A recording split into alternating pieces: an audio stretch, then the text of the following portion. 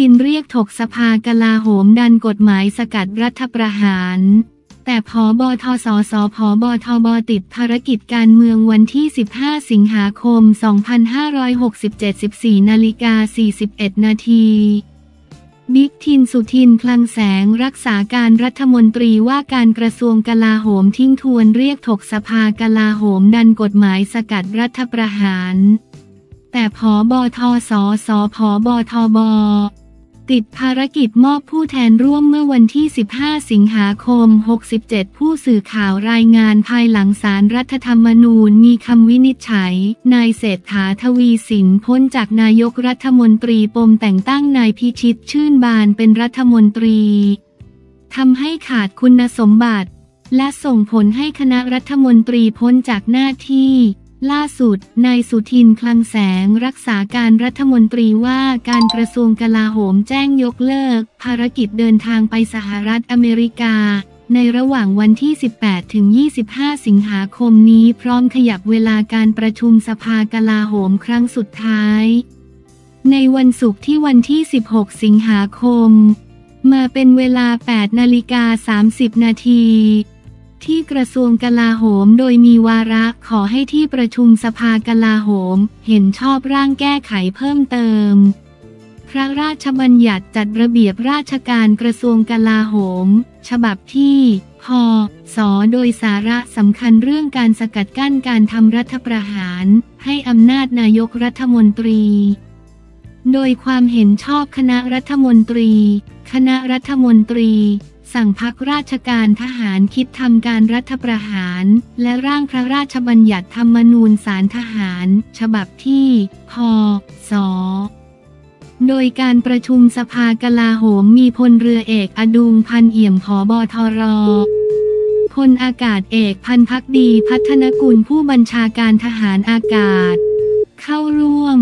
ส่วนกองทัพไทยและกองทัพบบกส่งผู้แทนเนื่องจากพลเอกทรงวิทย์หนุนพักดี ผู้บัญชาการทหารสูงสุดเดินทางไปเป็นประธานและตรวจเยี่ยมการฝึกร่วมยุทธเสนา 67 จังหวัดเชียงใหม่ ส่วนพลเอกเจริญชัยหินเทาผอบอทบ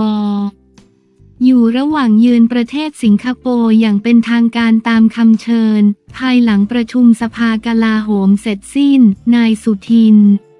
เดินทางไปรัฐสภาร่วมโหวตเลือกนายกรัฐมนตรีคนที่ 31 เวลา 10 นาฬิกาเป็นต้นไปที่ประชุมสสเพื่อไทยหนุน อิง นั่งนายกรัฐมนตรีดันดิจิทัลต่อชี้ชัยเกษมมีปัญหาสุขภาพพอปชรอย้ำจุดยืนหนุนแคนดิเดตนายกรัฐมนตรีจากเพื่อไทย จ่อหารือ ป้อม มาโหวตเองหรือไม่ รอทสชย้ำจุดยืนหนุนแคนดิเดต นายกรัฐมนตรีเพื่อไทยชี้ บิ๊กตู่คงไม่กลับมา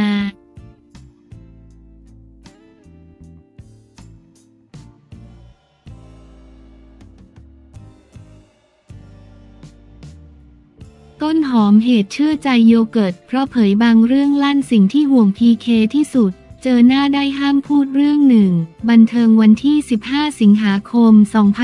2567 9นาฬิกา 13 นาทีต้นหอมเหตุเชื่อใจโยเกิร์ตเพราะเผยบางเรื่องลั่นสิ่งที่ห่วงพีเคที่สุด เจอหน้ากันได้แต่ห้ามพูดเรื่องหนึ่งทำยังไงให้ได้รับโอกาสกลับมาทำงาน เรื่องคดีความหรือเรื่องอะไรต้องแยกกัน ไม่กี่วันก่อนดีเจและนักแสดงชื่อดัง ต้นหอม ศกุนตลาเทียนไพโรจน์ ออกมาให้สัมภาษณ์ยืนยันชัดเจนว่าขอยืนอยู่ข้าง โยเกิร์ต ณัฐฐชาช์ บุญประชม เพราะตั้งแต่เลิกรากับอดีตสามีพีเคปิยะวัฒน์เข็มเพชรปรากฏว่ายังคงมีดราม่าของทั้งคู่ตามออกมามากมาย รวมถึงข่าวลือเรื่องที่ฝ่ายชายจะฟ้องอดีตภรรยาด้วย ล่าสุดวันที่ 14 สิงหาคม 67 ดีเจต้นหอมมาร่วมงาน BENUTRA Present Shop for Self Love Event ที่ลานหน้า Eve and Boy The Underground ชั้น LG สยามสแควร์วันเพื่อให้กำลังใจ สาวโยเกิร์ตที่ขึ้นแท่นเป็นคอมพานี CEO ผลิตภัณฑ์เสริมอาหารเพื่อผิวสวยสุขภาพดี TRETASOD และ PYCNOGENOL จากนั้นต้นหอม ได้ให้สัมภาษณ์ถึงเหตุผลว่าทำไมตนเองถึงต้องเลือกข้างอย่างชัดเจน พร้อมเผยสิ่งที่เป็นห่วงเกี่ยวกับพี่ชายคนสนิทอย่างพีเคที่สุดยืนยันเคารพรักและเจอหน้ากันได้เหมือนเดิม แค่อย่าคุยเรื่องโยเกิร์ตเท่านั้นเองวันนี้ตั้งใจมาให้กำลังใจโยเกิร์ตโดยเฉพาะเลย จริงๆ น้องก็ชวนไว้นานแล้วว่าถ้าเกิดมีงานเปิดตัวสินค้าอย่าลืมมานะ เราก็บอกได้เลย เรียกว่าเลือกฝ่ายชัดเจน เอาจริงๆพี่พีเคคือพี่ชายที่รักมากเราเองก็ยังเป็นน้องสาวอยู่เสมอ ส่วนโยก็เป็นน้องที่เราเอ็นดูแต่พอวันที่เขาเลิกกันแล้วไม่ได้เลิกกันด้วยเรื่องเงิน ซึ่งเราก็รู้ตามข่าวว่าเลิกด้วยเรื่องอะไรหอมก็เลือกให้กำลังใจคนที่ถูกกระทำณตอนนั้น ซึ่งโยถือว่าเป็นคนที่ลำบากที่สุด ต้องถอยกลับมาเริ่มต้นที่ศูนย์คราวนี้ พอสองฝ่ายตีกันรุนแรงมาก มันก็ต้องเลือกอยู่ฝั่งใดฝั่งหนึ่ง จะมาแบบสู้ๆทั้งสองฝ่าย อ้าว สู้กันก็คืออิบอายทั้งคู่เหรอ เราก็จะดูเหมือนนกสองหัวเมื่อเราเลือกให้กำลังใจฝั่งนี้แล้ว มันก็ไม่มีหน้าที่จะไปถามพี่พีเคว่าสบายดีไหม แล้วฝั่งโยเองก็ต้องกังวลถ้าวันหนึ่งเราไปเจอพี่พีเคจะเล่าเรื่องราวที่เราเคยคุยกันไหม แบบนั้นมันก็จะรู้สึกอึดอัดใจสมมุติถ้าหอมไปเจอพี่พีเคเขาก็ต้องคุยเรื่องโยเกิร์ตถูกไหม ซึ่งเราไม่อยากคุยอะไรเรื่องพวกนี้ แต่ถ้าพี่พีเคบอกว่าวันนี้เหงาอยากกินข้าวด้วยแล้วไม่คุยเรื่องโยเกิร์ตเลยหอมสามารถไปหาเขาได้เลยกลัวพีเคจะโกรธไหม เราก็ยังบอกว่าเป็นน้องสาวของเขาเสมอนะ ยังรักและปรารถนาดีสิ่งที่ห่วงและกังวลที่สุดคืออยากให้พี่พีเคกลับมาอยู่ในวงการ เรื่องคดีความหรือเรื่องอะไรต้องแยกกัน อันนี้หอมไม่เกี่ยวอยู่แล้วแต่ทำยังไงมันมีโอกาสไหมที่พีเคจะได้รับโอกาสในการกลับมาทำงานอีกครั้งหนึ่ง ทำยังไงให้ภาพลักษณ์ของที่เขากลับมาอีกครั้ง ราะหอมรู้สึกว่าพี่พีเคเป็นคนชอบทำงาน ทุกคนต้องมีงานมันถึงจะกลับมามีเงิน ยิ่งเราเข้าใจสถานการณ์การเงินเขาก็ยิ่งน่าห่วง เท่าที่รู้ตอนนี้พีเคถึงขั้นไม่มีเงินจริงไหม หอมไม่คิดว่าเขาโกหกคนเราไม่ทำงานก็ไม่มีเงินอยู่แล้ว มันก็เป็น way ที่ถูกต้องพี่พีเคอาจจะมีสินทรัพย์ แต่เงินสดที่มันออกทุกวันทุกวันแล้วคนวางแผนอย่างเขาก็ต้องรู้สึกกังวลแล้ว ส่วนตัวรู้สึกว่าในวงการบันเทิงเราหาคนที่มีคุณภาพอย่างพี่พีเคยากมากนะ ถามว่าตอนนี้ใครคือตัวตายตัวแทนพี่พีเควันนี้นั่งนับไม่ถึงห้าคน ฉะนั้นหอมรู้สึกว่านี่คือบุคลากรในวงการบันเทิงในการทำงานที่พีเคเก่งมาก แล้วมันก็น่าเสียดาย ถ้าเกิดว่าคนนี้จะไม่มีโอกาสในการทำงาน คิดว่าพีเคจะกลับมาได้ไหม อยู่ที่ตัวเขาค่ะ พี่พีเคต้องบิดอะไรบางอย่างหอม ไม่รู้ว่าพี่พีเคนับถือใครเป็นไอดอลในวงการบันเทิง แต่ต้องมีคนนั้นเข้าไปคุยกับพี่พีเค